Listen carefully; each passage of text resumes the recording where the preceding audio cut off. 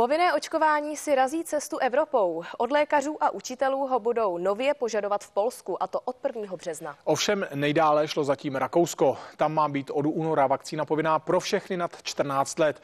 A jak dlouho se budou všichni opakovaně očkovat? Šéf farmaceutické společnosti Pfizer tvrdí, že zná odpověď.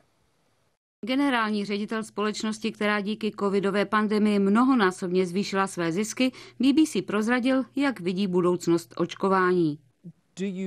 Kdy to skončí? U čtvrté, u páté dávky?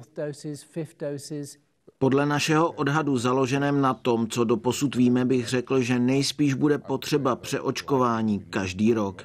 Jak udávají nezávislé zdroje trojice největších výrobců vakcín, tedy Pfizer, BioNTech a Moderna, na nich letos vydělá okolo 35 miliard dolarů. To je pro ilustraci tisíc dolarů, tedy 22 tisíc korun každou vteřinu. Co byste řekl těm, kteří to považují za nemorální, vydělávat takové částky na pandemii?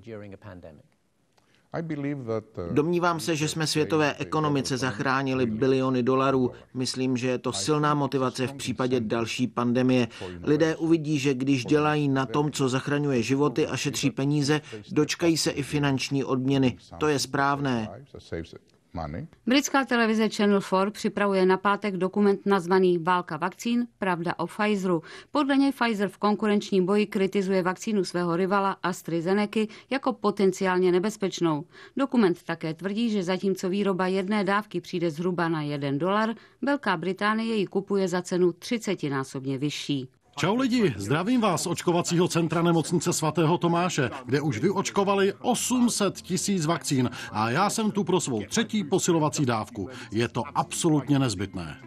Na příští rok už má Británie nasmlouváno u největších výrobců celkem 114 milionů dávek. Gabriela Božilová, CNN Prima News.